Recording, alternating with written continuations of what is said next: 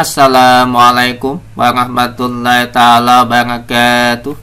Bismillahirrahmanirrahim.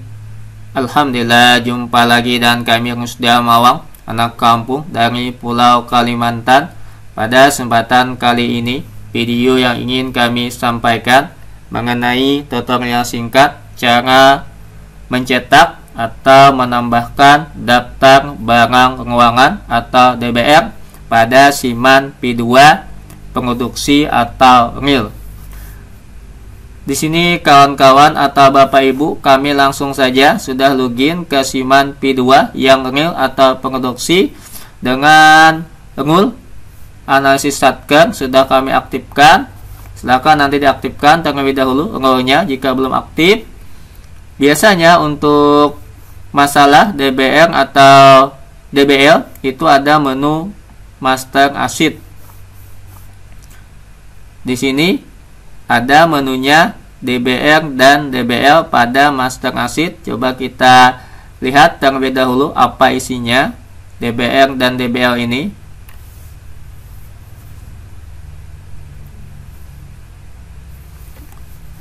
Di dalam DBR ini ada beberapa menu. Klik DBR, ada daftar barang keuangan milik sendiri, milik satker lain, pihak ketiga. Silakan nanti kawan-kawan atau Bapak Ibu jika ada pihak ketiga bisa ditambahkan uangnya ataupun milik satker lain juga bisa ditambahkan terkait DBR. Di sini DBR ada dua pilihan juga, ada bangunan gedung dan rumah negara. Biasanya untuk madrasah tidak ada rumah negara cuma ada bangunan gedung. Untuk daftar barang lainnya, di sini juga bisa ditambahkan jika ada daftar barang lainnya atau DBL, baik itu milik sendiri, milik satker lain ataupun pihak ketiga. Kita kembali saja, kita fokus kepada daftar barang penguangan atau DBR yang milik sendiri dan asetnya yang bangunan gedung. Di sini Kawan-kawan atau Bapak Ibu sudah terlihat di satker kami ada beberapa ruangan yang muncul. Ada 20 ruangan. Cara mencetaknya, kawan-kawan atau Bapak Ibu untuk mencetak DBR tentunya sebelum kita melakukan cetak DBR-nya, kita harus menambahkan ruangan terlebih dahulu. Silakan nanti dicek di satker masing-masing apakah sudah ditambahkan ruangannya. Cara menceknya tinggal diklik di bagian tambah ini. Ini kami contohkan yang belum ada ruangan terlebih dahulu. Yang nomor 2 ini, nob 2, bangunan gudang tertutup. Kita klik bagian tambahnya. Biasanya tidak bisa terbuka jika ruangannya tidak ada ini kosong. Sedangkan yang ada ruangan, coba kami contohkan yang nob 1 ini akan terbuka ini. Ada satu lantai. Tergantung nanti ruangannya berapa lantai, ada yang bertingkat dan sebagainya. Untuk mencetaknya, jika sudah ada ruangannya, tinggal klik di bagian tambah ini lagi. Nanti akan otomatis terbuka nama ruangannya. Ini kami contohkan ruangan arsip. Sebelum kita contohkan cara mencetak, alangkah baiknya kita contohkan cara menambahkan ruangan terlebih dahulu. Yang belum punya ruangan, yang nomor 2 ini, coba kita contohkan bangunan gudang tertutup semi permanen, nob 2. Cara menambahkan Penguangan tentunya kita harus menambahkan lantai terlebih dahulu. Caranya kita kembali ke menu master asset di bagian daftar aset. Di sini kami contohkan daftar aset yang aktif saja yang kita tambahkan. Kita klik daftar aset yang aktif. Supaya ringkas, kita filter saja khusus bagian bangunan dan gedung. Kita klik terapkan filter. Tadi yang ingin kita tambahkan penguangannya atau lantainya bangunan gudang tertutup semi permanen yang noob 2 ini. Caranya tinggal diklik pada bagian mata ini untuk membuka detailnya. Ini sudah terbuka detailnya. Silakan nanti dilengkapi terutama untuk foto dan lantai ruangan ini serta nanti hitung SK SBSK jika ada SBSK-nya. Kita contohkan di sini khusus menambahkan lantai dan ruangan saja. ini luas bangunannya kita cek terlebih dahulu berapa luas bangunannya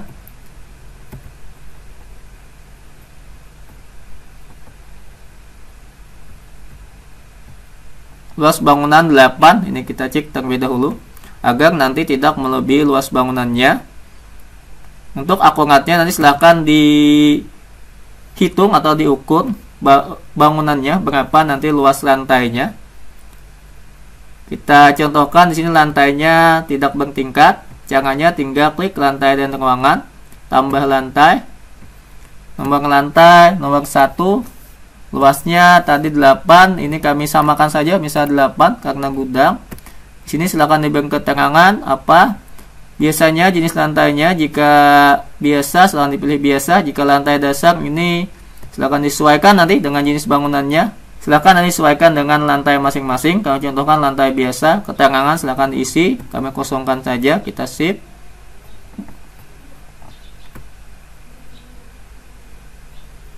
Oke, untuk menambahkan ruangan, silahkan diklik di bagian ujung, tambah ruangan, tambah ruang. Kode ruang silahkan disesuaikan. Misal kodenya apa? Ini tidak ada kaidah bakunya, silahkan disesuaikan saja masing-masing. Yang penting mudah diingat.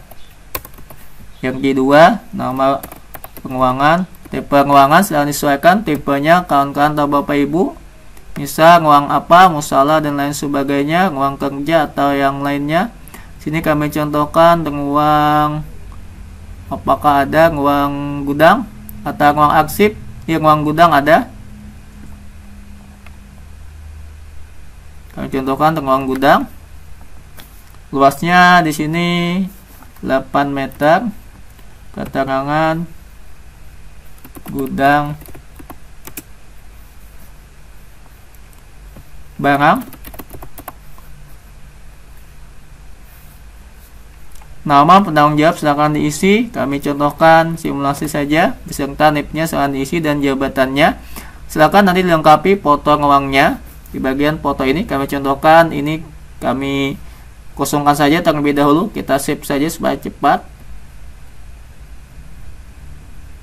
Oke sudah berhasil menambahkan penguangnya di bagian aksi ini untuk melakukan penelitian atau mengedit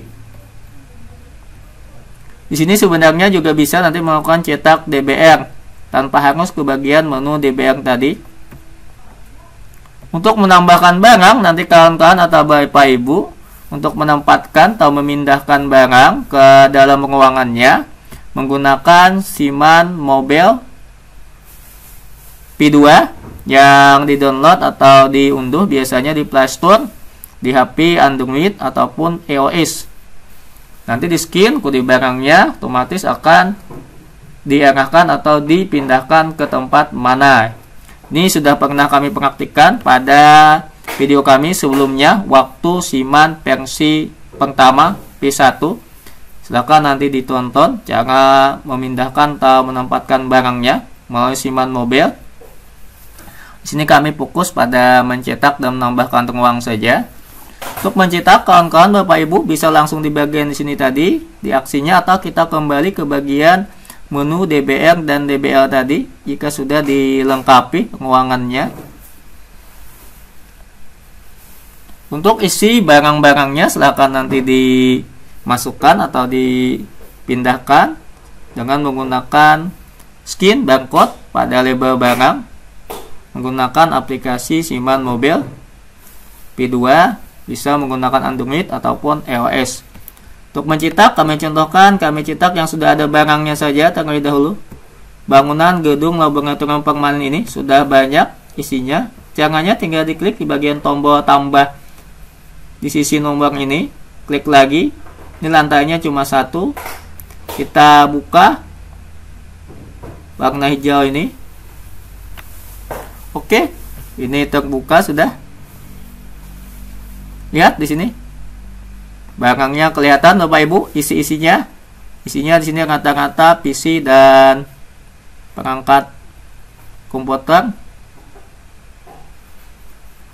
Cara mencetaknya tinggal klik cetak DBR di sini atau ekspor DBR ke Excel. Sudah tercetak kawan-kawan. kita oke kan saja dbr komputer kita coba buka bagaimana hasil dari cetakannya.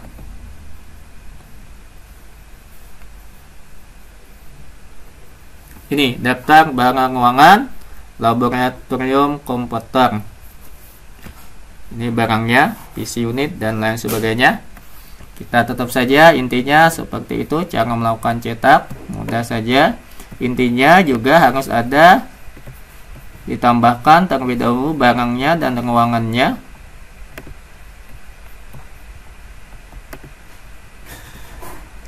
Untuk melakukan edit tadi silakan nanti masuk ke master asset terkait nama ruangan dan penanggung jawabnya.